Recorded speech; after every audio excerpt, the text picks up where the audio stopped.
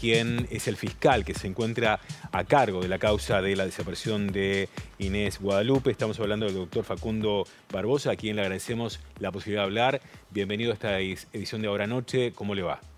¿Qué tal? ¿Qué tal? Buenas noches.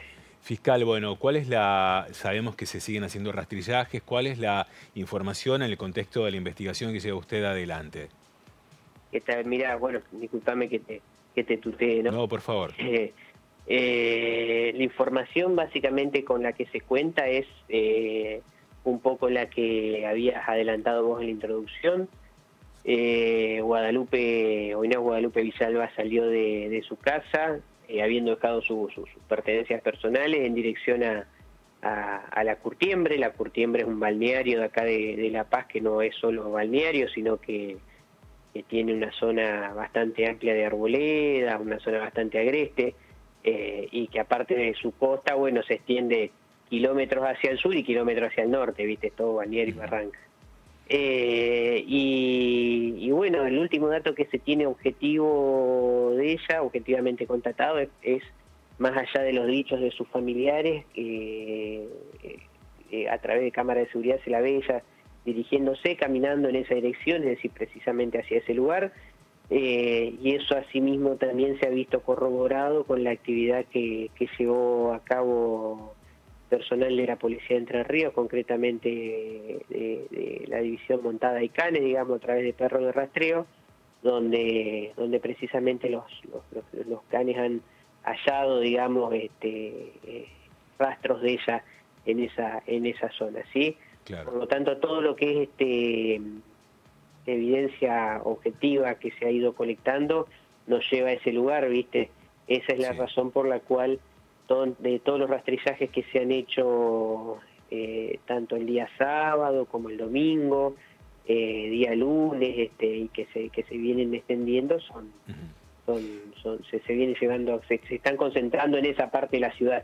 Claro. Fiscal, le consultamos, teniendo en cuenta estas cámaras de seguridad, lo que se puede observar es que ella va camino hacia la costa, pero no hay ninguna otra imagen que se la muestre regresando o algún otro lugar por el cual pudo haber regresado de esa zona. Y además el tema de los perros que usted menciona, dan la ubicación en la costa, pero luego no dan otra ubicación eh, tras los peritajes. Mira, dos preguntas son, te voy a responder a las dos. La primera de ellas es de todo el análisis que se ha llevado a cabo de, todo el material fílmico que se ha secuestrado, no se le ha visto a ella en otro lugar, ¿sí? Eh, ni de manera concomitante ni posterior. O sea que la última videofilmación que tenemos de ella es esa precisamente, es doblando eh, por calle mm, por Boulevard 25 de Mayo en dirección a calle Lambolia, que es la calle que en definitiva termina conduciendo a la, a la curtiembre, ¿sí?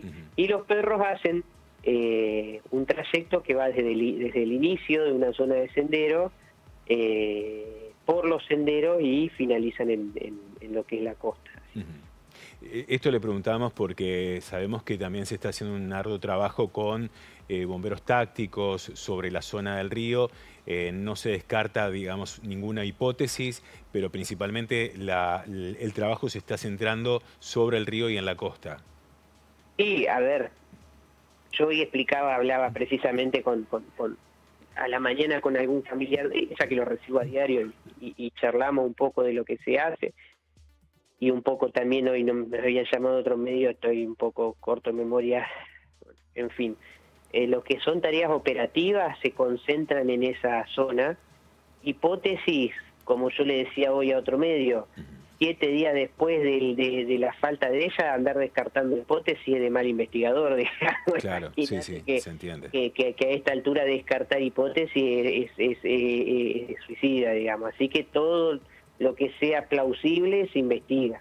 Em, y, bueno, en relación a lo otro, eh, sin perjuicio de, o sea, porque claro, la investigación no es que se centra solamente en eh, el rastrillaje intensivo en la zona donde ella eh, se presume que se dirigió en último término, sino que también se hace, se ha hecho y se hace en labores de de, indagación en evidencia digital, teléfonos celulares, eh, también este, tareas de, propias de inteligencia criminal, pedidos de informe incluso a, organismos provinciales y nacionales y, a empresas de colectivo, cosas que se hicieron incluso de manera bastante temprana para, para, para, para evaluar si ella podía incluso haber, haber salido de la ciudad en algún transporte público de pasajeros, en fin.